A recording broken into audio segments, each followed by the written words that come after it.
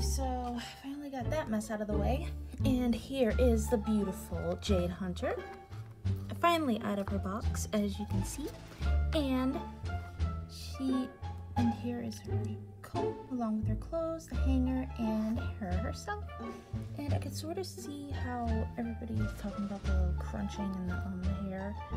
Um, but I'm gonna have to deal with that at a later time in a different video. Um, but yeah, she is beautiful, you guys. Guys, as you can see, I took off her hat. One of them being her hat originally looked like this, or sort of close to it. But yeah, I had to take this out. You have to be careful with the back one here because there's one right here, one right here. It's already out, but I'm just showing you the locations. One back here, back here, right here, and I think that's four. Sorry, four of them. And the gel in her hair, it's um pretty just in the curls here.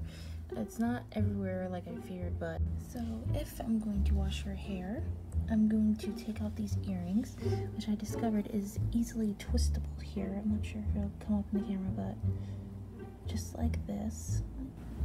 I just rushed it, so if you just be gentle, you won't be losing any pieces of hers, or worried it might sag off or something.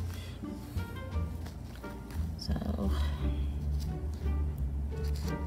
next time you see her, probably her hair is going to be looking like this and not this. I love the doll.